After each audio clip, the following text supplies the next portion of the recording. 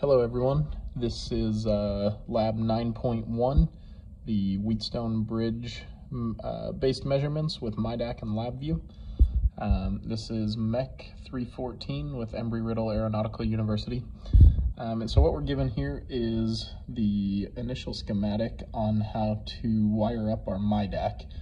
Um, and so I have that right here. It's a bit messy, it's because I put in a whole bunch of wires.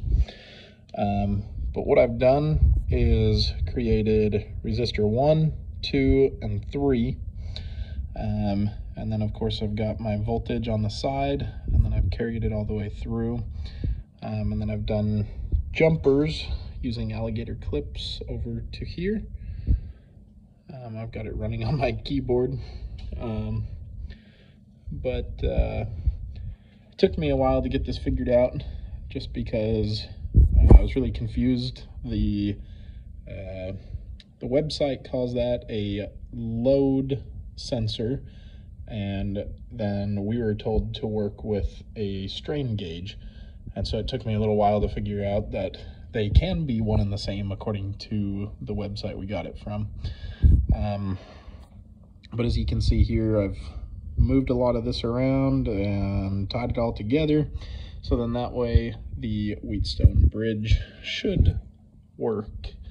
Um, and so what I've done is put up this uh, LabVIEW um, and we go from the DAQ down into the filter um, and then that ties into the measurement files as well as all of the operations in order to um, push out the measurement files and do all the operations for it.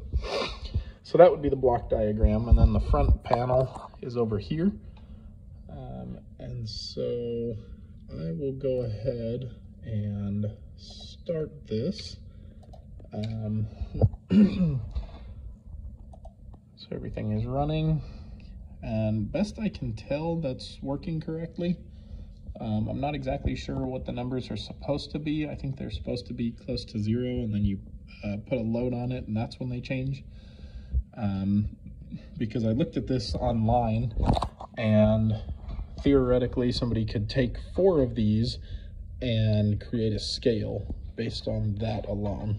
Um, so I believe these are supposed to be zeroed out. My VO VEX is a little bit high. Um, I'm not entirely sure how to fix that. Um, I would love if somebody commented and mentioned how to do that. Um, but as you can see, because of that write to measurement file, this has now showed up over here.